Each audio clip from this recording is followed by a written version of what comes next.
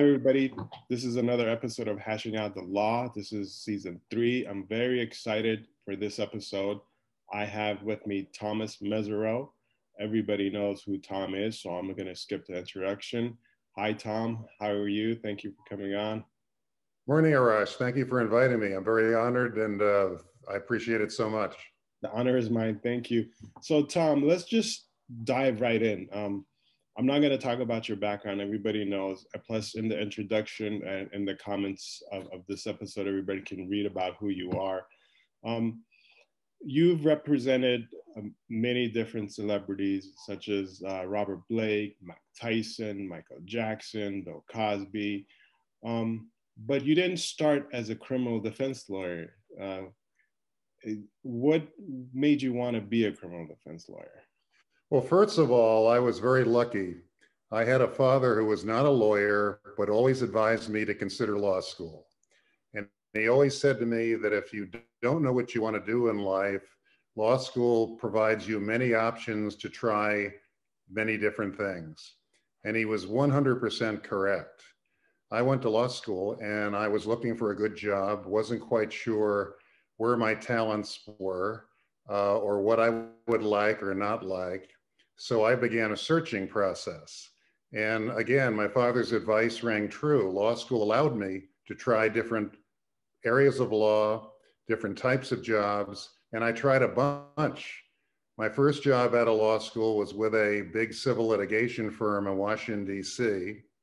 And I was in the public utility section where the lawyers I worked with were representing public utilities and energy related companies and I was putting together rate hearings, which are trials in front of administrative law judges.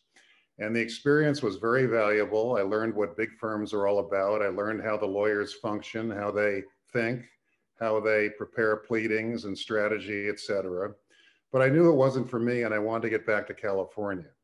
So I made a radical change. I joined the Orange County District Attorney's Office south of Los Angeles. And it didn't take me very long to know that I was a fish out of water. I didn't like prosecution. I didn't like jumping on unfortunate people with problems that weren't necessarily of their own doing. And I remember my first job was, uh, first case was to prosecute a young girl uh, for shoplifting. And she'd been caught at a, a grocery store or a department store, I don't remember and she admitted what she had done. She was on tape. There were eyewitnesses. It was a case nobody could lose. I mean, you know, you could be half asleep and you'd win this thing. And uh, I wanted to find a way to get her some treatment because, ironically, when I entered the office, I went through a training program. And part of the training program was to do a tour of the juvenile facility in Orange County. And as part of the tour, I was shown a iron door with a small glass window and the glass window looked into a suicide room where people who were considered suicidal were being watched. And there was a little girl sitting all alone, uh, nobody with her, her head in her hands on her lap. And it turned out that was the first one I was asked to prosecute. And I looked at her file and she'd been, the, she'd been an orphan, she'd been the victim of sexual abuse, drug use, uh, all sorts of abuse. One of the first things she looked for when they arrested her was typewriter fluid to sniff because she was addicted to that, which we know is very damaging to the brain and the bodily organs. And it was so sad, so pathetic, I didn't want to prosecute her. And I was told I had to. So we went to trial in front of a judge and she was convicted. I went back upstairs to my office and everybody wanted to high five me and congratulate me for getting a conviction. And I was utterly disgusted. Um, I wanted to find a better solution to help this poor soul with treatment, with direction, with counseling, with emotional support, and I could not do that. So that was my introduction to being a prosecutor, and didn't take me long to realize it wasn't for me. And then I decided to, after about a year, to leave the office.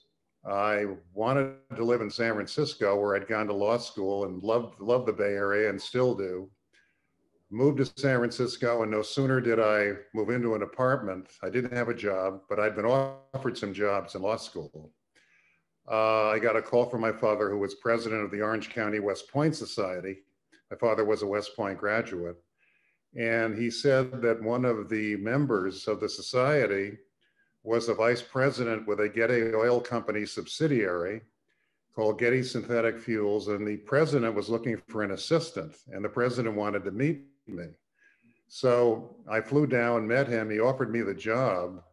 And for almost three years, I was assistant to the president of a large oil company subsidiary. And I was kind of a troubleshooter.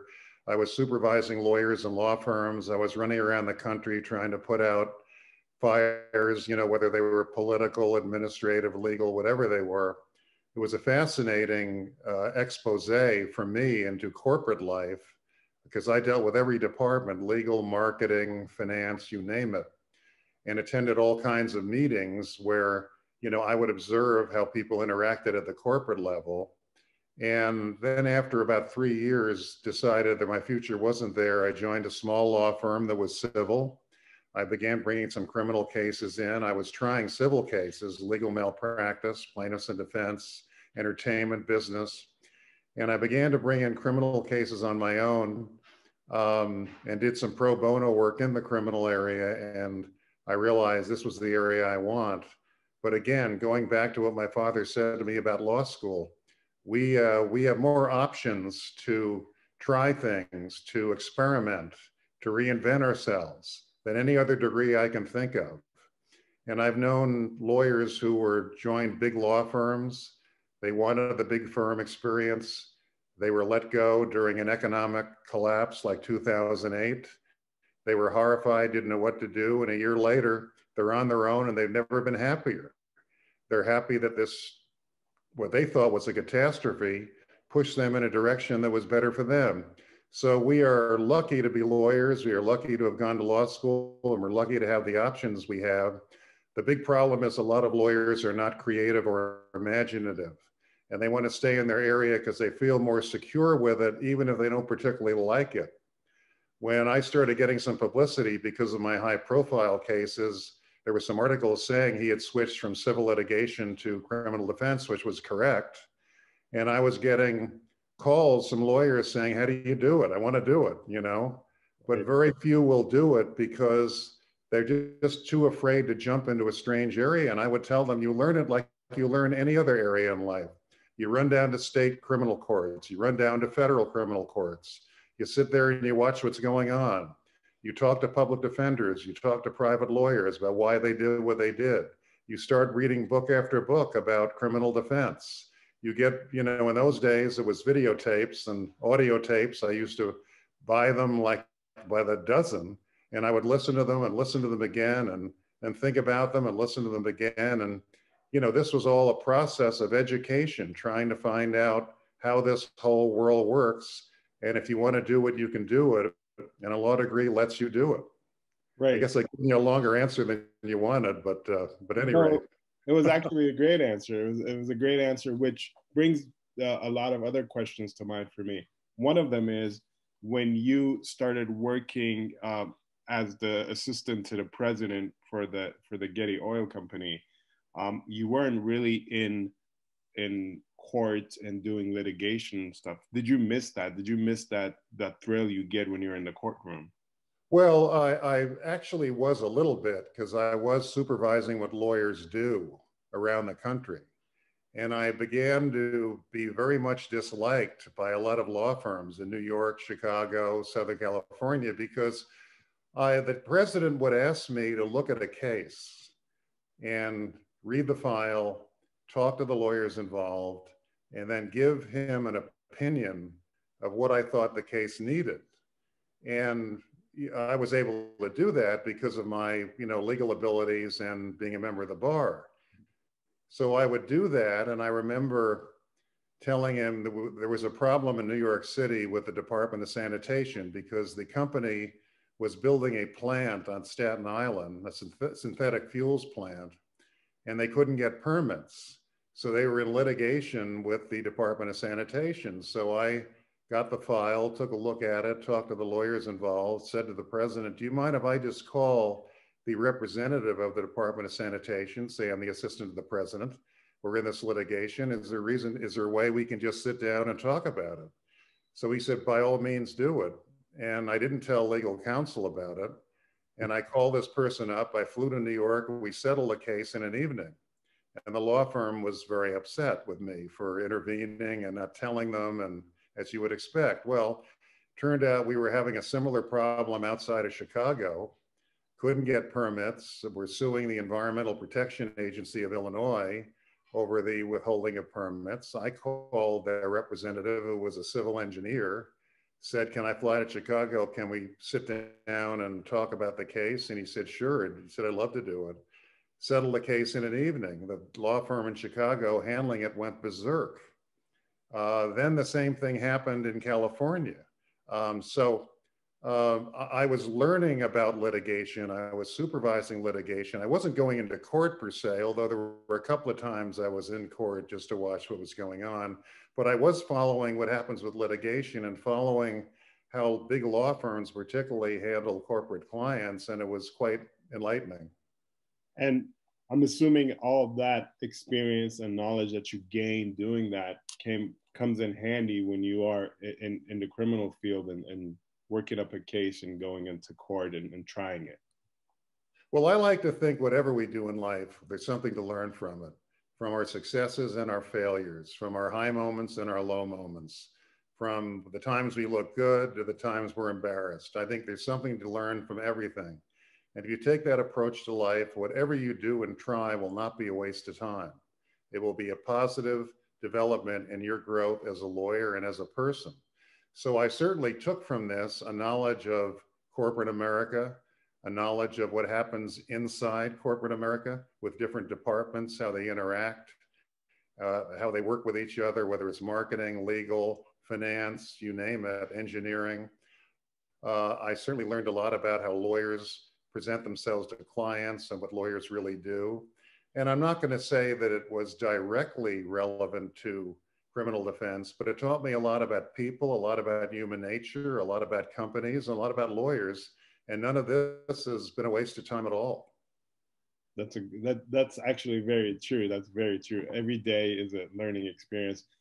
Um, let me ask you this: Every lawyer, well, let me change the question up a little bit.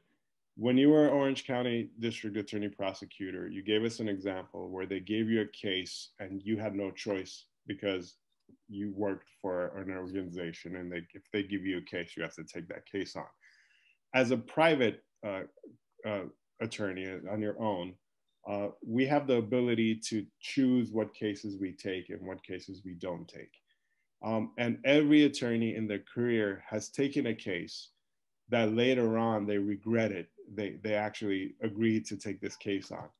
Is there such a case in your career that you that you have and want to talk about? Well, if there is, I wouldn't talk about it. Uh, let, me let me start with some generalities. Uh, I think as criminal defense lawyers, we are very lucky people. I think we make the system work more than anybody because we're up against it all the time. The odds are usually against us. We're not particularly well liked by society. Historically, criminal defense lawyers have not been well liked. And a lot of people just don't understand what we do. And they don't understand that our job is not just to fight for our clients in court, it's also to make a system work. A system which I think is the best system in the world, but nevertheless is filled with problems, filled with injustice, filled with mistakes, filled with unfairness. And we make this system rise to the greatest heights it can by challenging the prosecution's case, by taking the constitutional rights that our clients have, no matter what they've done or haven't done, or no matter what they're perceived to have done or perceived to have not done, and making sure that they have the rights that everybody else has. Making sure that because somebody accuses them of something, they're not treated in a devalued way. Or making sure that because they come from an economically deprived area, or a racial or ethnic or religious group that's being despised or being attacked, we want to make sure they are not mistreated. And I, I keep using the word devalue because human beings have a conscious and unconscious need, in my opinion, to devalue somebody that they compare themselves with. In other words, I don't mean to sound cynical, but I think it's human nature to try and think you're better than somebody in some area. children on the schoolyard, ethnic groups, within ethnic groups, religious groups, within religious groups, you name it, national groups, within national groups. People want to see if they can be better than somebody else. And that's human nature, in my opinion. The great thing about human beings is we can rise above it. We can recognize what it is. We can say, you know, you know, I was taught to do this, it was wrong, or my inclination was to do this, it was wrong. I'm going to rise above these basic human instincts and we're going to we're going to treat everybody with value, with dignity, with equality, no matter who they are or what they're accused of doing. We make that system work to its best level, and we're not always liked. So being a criminal defense lawyer has challenges, but the satisfactions to me are great if you believe what I just said. And I know what I said is correct. Uh, have I taken cases I wish I hadn't taken? Yes, we have difficult clients. We have clients that uh, don't treat us well. Uh, sometimes I tell students when I'm lecturing, I said, here's, here's what happens when you're a criminal defense lawyer. And I'm generalizing and I'm being overly, overly simplistic. If you win, nobody needs you anymore. And nobody wants to be reminded of that difficult problem they had that you had to solve. If you lose, you're a devil. So, you know, get ready for some rough moments, get ready to develop some thick skin. But remember, you're doing a great service to our country by taking cases that nobody else wants. I've always thought the highest ethical duty of a criminal lawyer was to defend the, the, the despised, the hated, the vilified. Um, that's the greatest calling for a criminal lawyer because that's how the system works to its best level. That's actually the, the eloquent and beautiful answer. People ask me all the time, how do you do what you do? How do you defend these people that they say they are guilty and you know they're guilty? And um, I'm going to refer them to your answer and to, to, so they understand why we do the things we do. Well, people don't like criminal defense attorneys until they need one or, or, or until their loved one needs one. And then their, their whole attitude changes. They realize the system they took for granted as being fair may not always be as fair. And it can't be totally fair because it's comprised of human beings who lack perfection. You know, no human being is perfect. No organization of human beings is perfect. We're all human. We make mistakes in various forms. Organizations make mistakes in various forms. And no system of justice can be perfect. So we're always striving for a higher level of fairness and justice and, and never completely solving the problem. I mean, think about it. You look at the history of our country, and our criminal laws are always changing, they're always evolving. We've got new courts of appeal, new Supreme Court judges, we've got new politicians. And you see rulings coming out that change what was there previously. Well, if we had ever reached a sense of perfection, you wouldn't have to change anything. You wouldn't have to revise laws. You wouldn't have to reconsider what we've been doing for decades. But we have to because the system just isn't perfect. And everybody's got to do their job to make it work the best. The judge has to do his or her job the prosecutors, the defense attorneys, the witnesses, the jurors, the bailiffs, everybody has to do their job with passion and with integrity and with ethics for this system to work the best. That's completely true, which leads to my next question. Um, you mentioned that we have changes in the system. We get new judges, new politicians. Uh, recently in LA County, we, we got a new um, a district attorney elected. He used to be the district attorney in San Francisco up north, where you're from, and he's brought with himself a lot of controversy. He's he's trying to um, uh, reform the system, and some people don't agree with his direction. Um, do you have an opinion, or would you like to make a statement about what you think he's doing, or if, if well, I, I haven't met him personally. I certainly know a lot about him. And, you know, his tenure just began and he just became the district attorney. He's someone who clearly cares a lot about what he does, which is why he's trying to change certain facets of the system that he thinks need change. I mean, if he were if he were just a hack who wanted to be safe and please everybody, he wouldn't walk in with an agenda like he apparently has walked in with. And my perception of him at the moment is he doesn't take anything for granted. He just because the law is on the books doesn't mean he accepts it as the best way to be. And he clearly cares enough and, and is courageous enough to try and institute some changes. And that kind of person has to be commended for taking a fresh, creative, and courageous approach to what they do.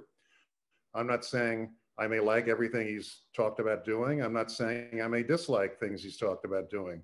It's really a new process, and I haven't met the man, but anyone who approaches their job with ingenuity and creativity and a desire for positive change is someone who I have to commend in certain areas. That's a good answer. We just, I, I think it's a wait and see with him and, and let's see what happens. He is getting a lot of pushback from his own people and, and from people from the other side, but he's also getting a lot of support. So it's a wait and see, in my opinion. Um, let's change directions a little bit. Now let's go back uh, to you. You're a criminal defense attorney. You started bringing these things, uh, these criminal cases in, and, and now you're just focusing just on criminal defense what was your first breakthrough case in your opinion or, or a case that you you changed the direction of your career? Well i was doing a lot of criminal defense work uh, in both state and federal court at one stage of my career. Um, i was donating a lot of my time to free legal clinics throughout los angeles I was attending First African Methodist Episcopal Church, First AME Church, uh, which was led by Pastor Cecil Murray, one of the greatest pastors in American history. And they had a free clinic that met on Sundays, and I was a regular uh, attendee of that clinic. I also was devoting time to other clinics in Los Angeles. There was a group called Save Our Sons, a group at uh, uh a another church in South LA. It was a group formed by mothers whose sons were incar- incarcerated. And these mothers were all African American and they all felt their sons had been mistreated, had been unfairly mistreated by the system. So the leader of the group was a woman who had been the first African American female graduate of the University of Louisville Medical School. She was a medical doctor. And her son was doing what looked like a life sentence at the time. And she's very, very brilliant, very in, in, ingenious in how she assembles people and attacks problems. So I met her and used to speak to her group about the drug laws, about other changes, about the Supreme Court. They had various clinics uh, where they would educate people on the law. They had a prison ministry where busloads of people would go to prisons to talk to prisoners and help them with spiritual development, et cetera. They had job clinics where people who had, were convicted felons needed direction on how to get a job. They would go to the job clinic. They would get companies that would actually hire people with criminal records, which many companies did not. So I helped the Save Our Sons organization a lot. There were clinics at other churches throughout South Los Angeles that I was also donating my time. There was a group called Families to Amend California Three Strikes Law, which called FACTS, which was composed of people who were fed up with the Three Strikes Law and the, the absolute injustice of the way this thing, particularly at the beginning, was being imposed.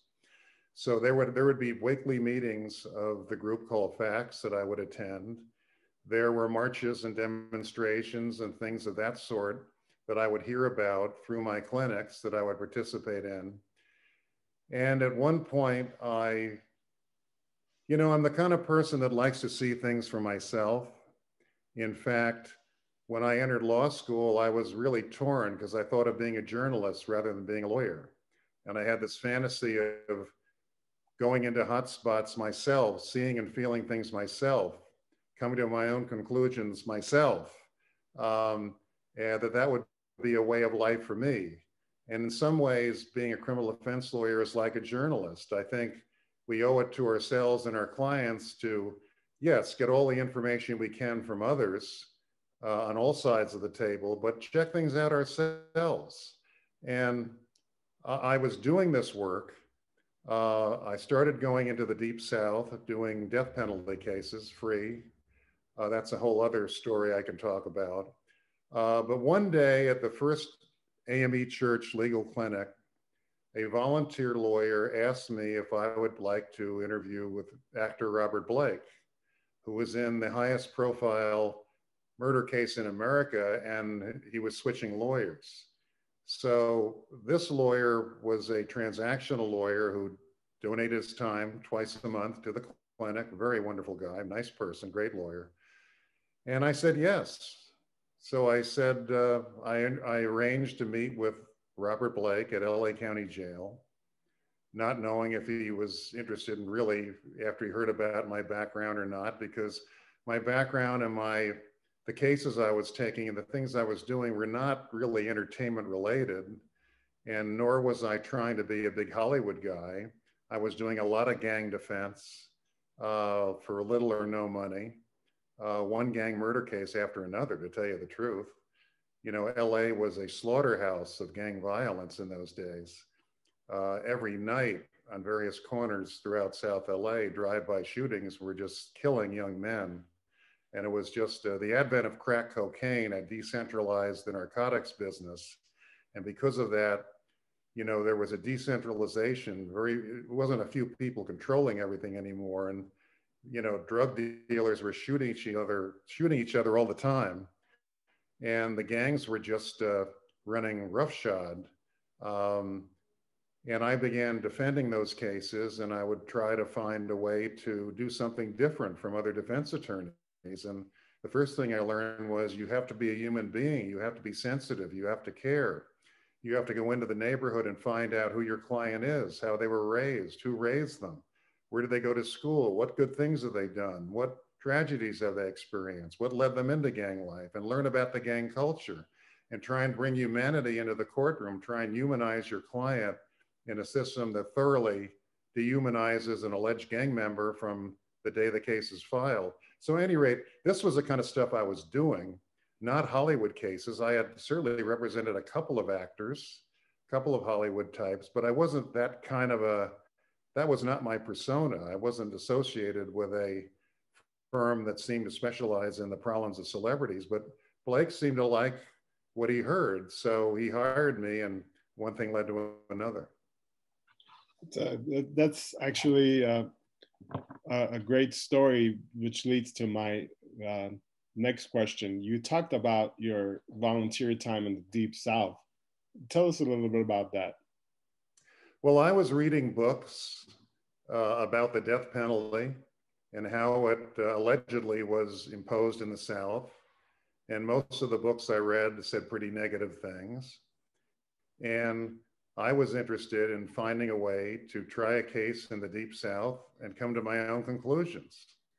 And I mentioned to a few friends that I would love to try a case in the Deep South. Um, one friend talked to a woman who is now the professor uh, of the death penalty clinic at Berkeley School of Law at Cal Berkeley. Liz Semel is her name. Liz Semel at the time was a California lawyer who had moved to Washington, D.C. to run the American Bar Association's Death Penalty Representation Project. And she was trying to find lawyers and law firms to get involved in post conviction appeals and habeas petitions for people who were sitting on death row in various states. And I ended up talking to her on the phone and I said, you know, I really don't want to do post conviction. That's not my specialty. I like to try cases. And she was kind of dumbfounded that I would want to go down south and put my reputation on the line trying a death penalty case. Because as you well know, if your client gets death, for the next 10, 20 years, your reputation is going to be savaged. Everybody's going to be saying in state court and federal court that you were incompetent, that you gave an inadequate defense. There may be published opinions attacking your reputation. I said, I don't care. I want to try cases. This is what I do and I'm not going to be discouraged from it. So she was at a seminar on the death penalty where she met two white guys from Birmingham, two lawyers who had been assigned a very high profile death penalty case in Birmingham, Alabama. One of them was Charles Salvaggio, the other one was Wilson Myers. And they were getting death threats on their office machines, and there were a lot of racial issues. a homeless black man was charged with shooting to death a beautiful white girl in a trendy part of town. And it was just stirring up a lot of emotion in Birmingham. And they called me, or actually, actually, she called me and said, if I'm interested, would I give them a ring? And I called them. And they said they'd love to speak to me. So I paid my way to Birmingham, Alabama, paid my hotel, met these guys, and instantly knew they were great lawyers and great people. And we developed a, uh, a friendship that has gone on for over 23 years. Now, unfortunately, very recently, my dear friend Charles Salvaggio passed away at the age of 66. It was unexpected, it was sudden, it was shocking, and I'm still reeling from this. Wilson Myers is still practicing in Birmingham. I spoke to him the other day, but I've been trying capital murder and murder cases in the Deep South for 22 years. We met about 23 years ago.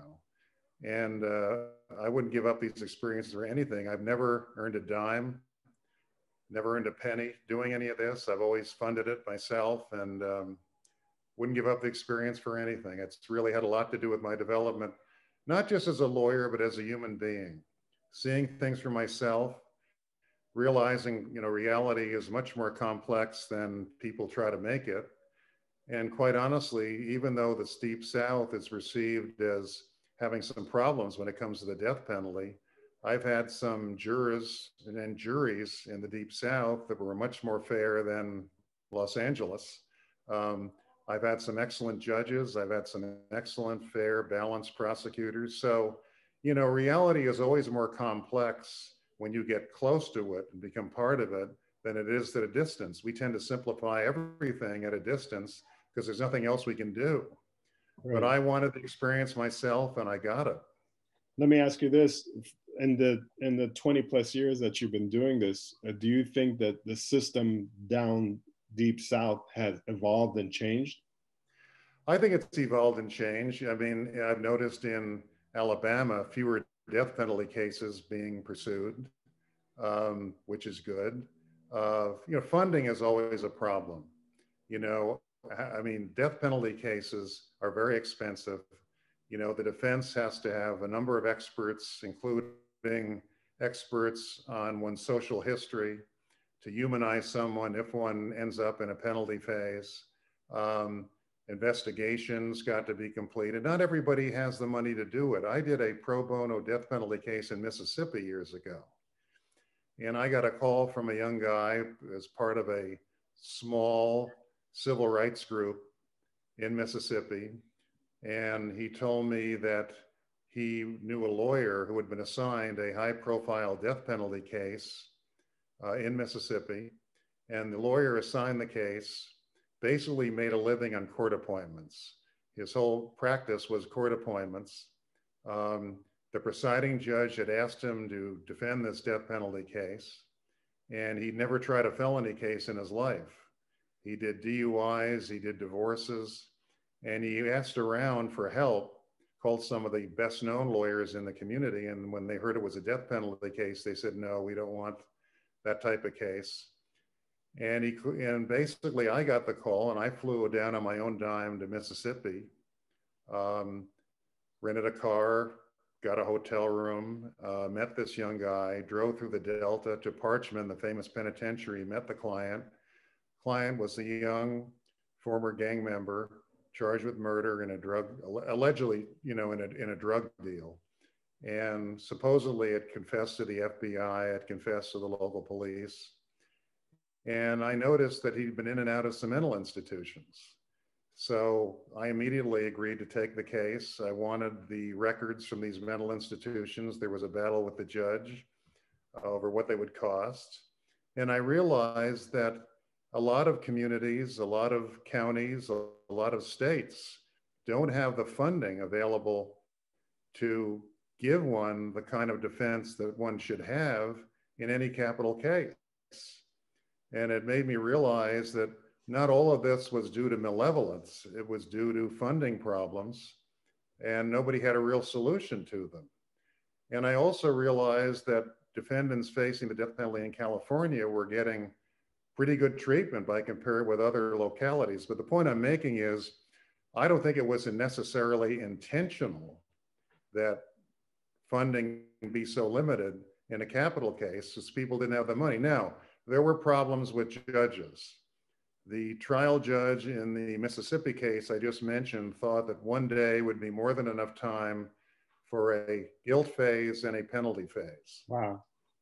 In other words, uh, to anyone listening who doesn't know that how death penalty cases are handled, you know, there's the guilt phase where the jury determines whether your client is guilty of the crime, and if the of a capital crime, excuse me, um, if they find your client guilty of a capital crime, you then go into a second phase where the jury is going to decide whether your client's going to get the death penalty or life without the possibility of parole. And that's the way most states work in this area. So it's really two trials in one. When I heard the judge thought one day would be enough for both, I did I shook my head. Well, we eventually resolved the case on the eve of trial, and he got the mental health help he needed and a possibility of parole. So it was a victory for us in a case that everybody thought was impossible and nobody wanted. Um, but uh, getting back to my point, I'm the kind of person who likes to see things for myself, likes to judge things for myself. That's why I thought of being not only a journalist, I thought of being a foreign correspondent. You know, my dream at one point was to just sort of fly into hot spots around the world and just soak things up myself, question people myself, see what works, see see what reality truly is. And uh, I think being a criminal defense lawyer involves a lot of that. I agree with you. I, I always thought about being a detective, and I think being a criminal defense attorney offers us the opportunity to be sort of like detectives. Yes. I, I have uh, a, a question for you. So now you you and when I say now you you represented Robert Blake. You're beginning to begin more of these Hollywood cases. Eventually, uh, Michael Jackson is accused. Uh, he starts with Mark Geragos and then he switches to you. Um, the trial starts, and to everybody's surprise, you don't want any cameras in the trial because you think it's going to be unfair. Tell us why you made that decision um, and talk about the trial a little bit. I mean, you, I know you've been asked so many questions about this. I don't want to beat a dead horse, but tell us a little bit about that experience. Well, first of all, I think the question of cameras in the courtroom is a case specific issue. In other words, I don't approach these cases with the idea that I don't want cameras, period. I approach cases with the idea that, you know, uh, every case is different. Now, in the Robert Blake case, I was there for the preliminary hearing, which lasted three weeks. And I was asked by the court staff uh, on behalf of the judge, did I want cameras? And I said yes. And I had a strategy in the Blake case, which was that I was going to turn a preliminary hearing, uh, which everyone expected to be about three days, into three weeks of a trial. and what I was going to do was I, I really sensed hubris on the part of these prosecutors. They seemed to be feeling no pain. They seemed to think that they had this thing in the bag. And I was new to the case. Uh, and I think they thought I couldn't be prepared to do a serious cross examination, even if I wanted to. And I did prepare, and I turned it into a mini trial. And their witnesses were not prepared for cross. As we both know as criminal lawyers, a criminal lawyer rarely does much cross in a prelim. One, because we're not always ready for it, it's early in the case. And two, because we don't want to give away our cross examination, which will happen at trial. Uh, and you know, we're just not we're just not usually very prepared. Well, I prepared morning, noon, and night, and went into the courtroom, and th- all of this was on court TV at the time. Uh, and I started really whacking these witnesses hard, and made a record uh, that I think was very instrumental to his acquittal at trial because the prosecution put on their most important witnesses at the prelim, eyewitnesses to his allegedly trying to solicit a hitman. Uh, all their forensic people testified. Uh, they had other people testify. And they just weren't prepared for cross, in my opinion, and they weren't good witnesses. So the cameras in the courtroom really helped us because going into that preliminary hearing, Court TV had some surveys done. And going into it, the vast 80 plus percent of Americans thought he was guilty. Uh, coming out of the prelim three weeks later, 80 plus percent of viewers, American viewers, thought he was not guilty. So I think it had a lot to do with changing public opinion about Blake. I think it had a lot to do with exposing weaknesses in the prosecution's case and locking witnesses into statements and testimony that they ended up living to regret. Uh, two very good prosecutors were replaced by one I don't think was as strong as they were because there was some embarrassment that that the prosecution's case looked as bad as it did, and I got Blake bail in a capital case. You know, as you know, in California, if you're charged with murder with special circumstances, which is a capital case, meaning you can face either death or life without parole, there's supposed to be no bail. Well, Blake was charged with murder with special circumstances. They said he was lying in wait, uh, and that was one one factor for the shooting. Um, and he was repeatedly denied bail. Well, I got him bail at the end of the preliminary hearing. It was 1.5 million with an ankle bracelet.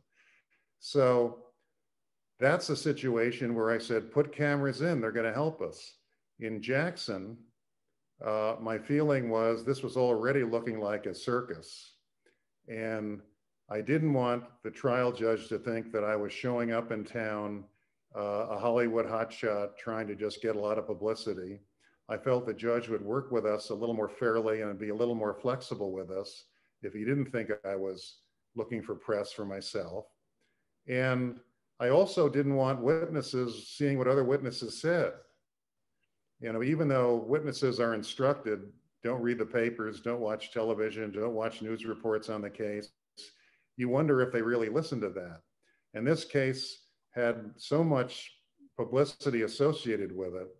Uh, I was afraid that witnesses would watch what other witnesses were saying before they came to testify, and I just didn't want that. And by the way, as an example of the kind of publicity the Jackson case had, on verdict day, there was a special report on NBC, breaking news. The jury has reached a verdict in the Michael Jackson case. And this was Brian Williams on NBC, a well known newscaster. And he said, just to give you a perspective on how big this case is, he said, there are over 2,200 accredited media from around the world covering the trial. That's more than O.J. Simpson and Scott Peterson combined. So that's how big that one was around the globe. Now, you asked me about the case. It was very unique, it was very exhausting. It lasted five months. Uh, I moved up to northern Santa Barbara County in the town of Santa Maria, which is north of the city of Santa Barbara. Uh, I lived like a hermit. I had a duplex.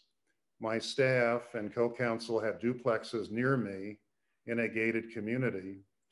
Uh, I went to bed at 7.30, latest 8 o'clock every night. I was up at 3 o'clock without fail every morning.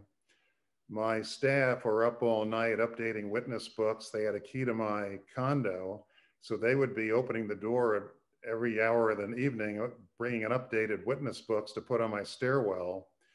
And I didn't want to be seen in any bar, restaurant, hotel at night. I didn't want people filming me or trying to put me in a compromised position. And uh, that's how I lived in this high profile environment. It sounds pretty bleak, but fortunately it was effective. It worked.